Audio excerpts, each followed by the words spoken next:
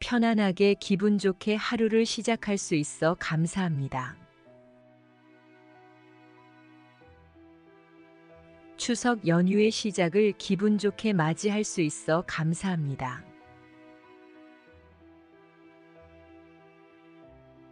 가족들과 오랜만에 이야기하며 즐거운 한때를 보낼 수 있어 감사합니다.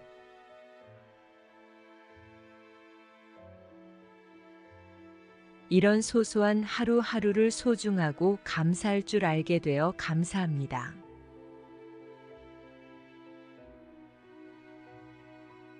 항상 언제나 무탈하게 무사하게 하루를 보낼 수 있어 감사합니다.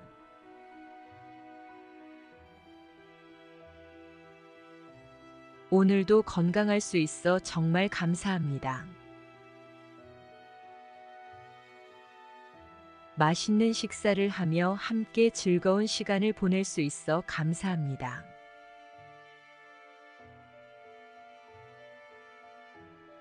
많은 시간들이 흘러 많은 것들이 변했다는 사실에 신기하고 감사합니다.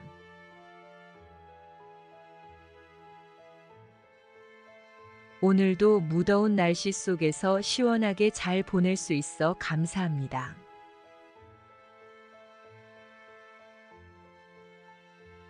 덕분입니다. 매일이 행운의 하루입니다. 감사합니다.